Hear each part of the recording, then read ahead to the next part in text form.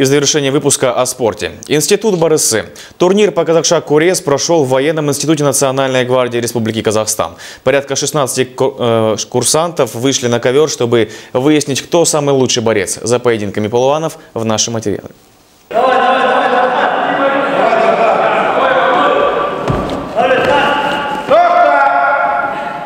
Вот такие борцовские поединки в военном институте проходят ежегодно. Традиционно курсанты выходят на ковер, чтобы выявить лучшего по Курес. И в этот раз в финальной стадии соревнований побороться за титул чемпиона собрались 16 участников весовой категории от 70 и выше. Соревнования эти традиционные, они преследуют цели.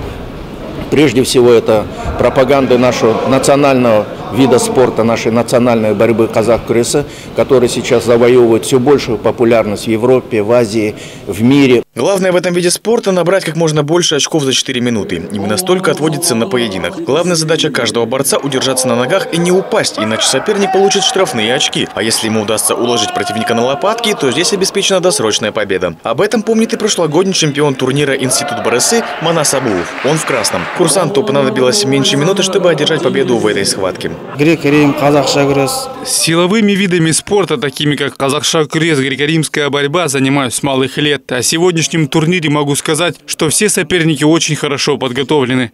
Еще одну победу Манас одержал и в следующем поединке. Захват и тут же бросок. Как результат, соперник повержен. В итоге без компромиссных схваток бронзу завоевал Нуржигит Амиров. Второе почетное место занял Дархан Даулетов. Победителем в упорной борьбе стал теперь уже двукратный обладатель титула Институт Барысы, курсант четвертого выпускного курса Манас Абуов. Всех призеров наградили медалями и грамотами, а спортсмену, занявшему первое место, вручили шапан. Денис Севков, Роман Куценко. Новости МТРК.